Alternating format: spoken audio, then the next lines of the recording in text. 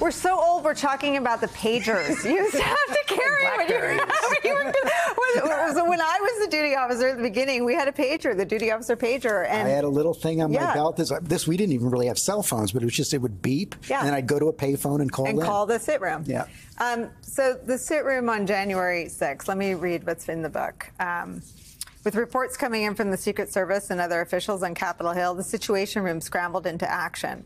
Quote, things got very chaotic. Um, this is Mike Stigler, the Situation Room officer. He told you, quote, we went into a continuity of government situation. Stop there. Take in that phrase, continuity, continuity of government situation. That bland bit of bureaucratic jargon masks a deadly serious set of policies and actions, first ordered by President Eisenhower at the height of the Cold War. COG was designed to ensure that the government would still function after disaster such as nuclear war. It involves secret command centers, the sit room being a critical one, elaborate chains of command, the relocation of Congress, and the replacement of executive branch officials killed in attacks. It had been activated only once before in the immediate aftermath of the September 11th, 2001 terror When attacks. Mike Stiegler told me that on the Zoom, I stopped breathing. I didn't know that. Did, did, has that been? I, it was the first time I had heard it. You know, we tried to we tried to run it down, and we know that happened on 9/11 uh, as well. But think about that. He was on the phone with the Secret Service. He was on the phone with others on Capitol Hill who were telling him the vice president's life is in danger. And he tells me the most horrible part of that day is not knowing if Pence is going to make it through that day. And they're planning for an alternate government to be set up.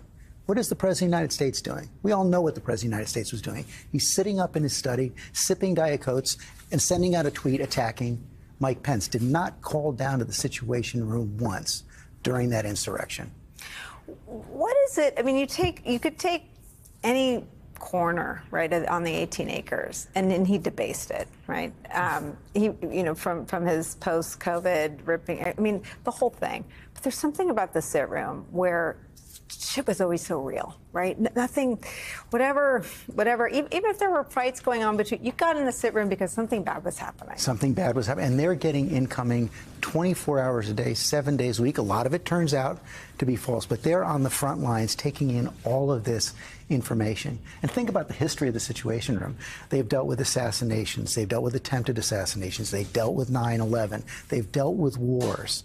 They had never had to deal with an insurrection inspired by the president himself. And the people in the sit room, Mike Steger, one of them, he said it took him years to process what was happening that day. He and his, his friends who served that day couldn't speak. They had to go to work the next day, but they couldn't speak when they left the White House that day. And they still meet every January 6th.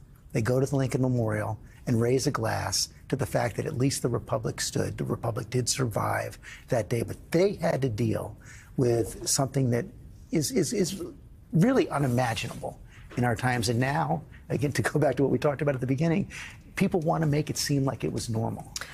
I think about, I mean, obviously, I was in the White House on September 11th when COG was put in place, and the pictures, I mean, Cheney and Mary Matalin. down and in the you, you, you, you were covering the, the Bush White House in which I served. Um, you talked to, to my boss, Dan Bartlett, every day. I remember I was sitting there, who's that? Is George? And I, you know, and, and you had all the best information, all the best reporting. And, and we actually tried to the extent we, we could talk about what was going on. But the country ag- agreed on the horror of that day.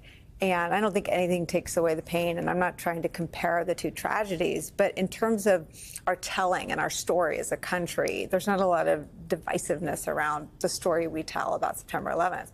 I wonder what it's like for the men and women who worked in the Situation Room or the men and women who, who defended the United States Capitol. And, and they weren't protecting the Democrats or the Republicans. They paid with their bodies. Some of them paid with their jobs. Some of them paid with They their were lives. protecting the institutions. Right.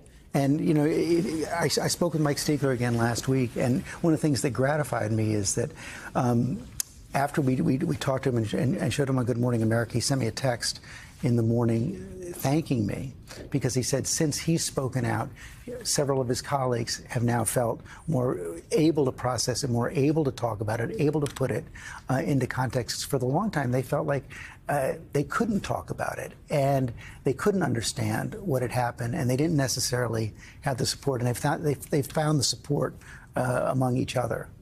You know, I- I wonder if you take the events of Waco and you take Oklahoma City and you put some of the characters on the board again, I mean, Merrick Garland prosecutes Oklahoma City. Donald Trump announces his candidacy in Waco, and Donald Trump is taunting Merrick Garland for wanting to hold him accountable for January 6th. How do all the pieces fit together in your head?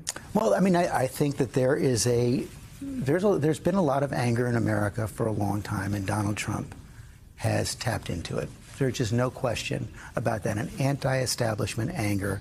What what's what surprised me more is what was relatively small, considered extreme group has now become the majority inside the Republican Party. I think that's, in, in some ways, the, the, the most important story to figure out and the most important story to reveal. I mean, it's, it's, it's the enablers who've, who've made all of this possible. You know, this could have ended in January 2021. Mm-hmm. There could have been a conviction. That could have been, and mm-hmm. you have a lot of people like Mitch McConnell who said, well, we're not going to vote for conviction because he should be tried in a court of law. And now somehow that's illegitimate as well. But it's not even over yet. And I know you know this, Nicolle, but think about this. Right now, the, the President Trump continues to lie about the election every single day in mm-hmm. every single statement and to, to not promise to accept the results if it doesn't go his way in 2024. And you have people falling in line behind yeah, that. Rubio just well. fell. Rubio did on, on Meet the Press on yeah. Sunday. Yeah. So what do we do? How do you cover Rubio as someone who won't accept the results of an election that hasn't happened? I, I, that, I would stop asking the questions after I got that answer. I'm not going to talk to you about anything else. What are you? Are you optimistic about the country? I'm optimistic about the people. I'm inspired by the people I interviewed yeah. for this book. I mean, there are an awful lot of good people working every single day across this government uh, who are trying to do their best for the country, for the presidency. Mm-hmm. Um, you know, it's just not an overstatement to say this is the most important election we've seen in our lifetime. It just isn't. Um, and I think you tell me what happens in the election, and I'll give you an answer on what I think is going to happen in the day after, because I think it's about the rule of law. It's about the Constitution. It's about the peaceful transfer of power. It's not about politics. It's not about Republican and Democrat. It's about the bedrock of our democracy. I agree, but I do think there's only one party standing for those things. Both, both sides are not are not engaged right now right. in the same enterprise, in debates based on facts, in the rule of law, in abiding by the Constitution and the peaceful transfer of power. And those are the most important issues.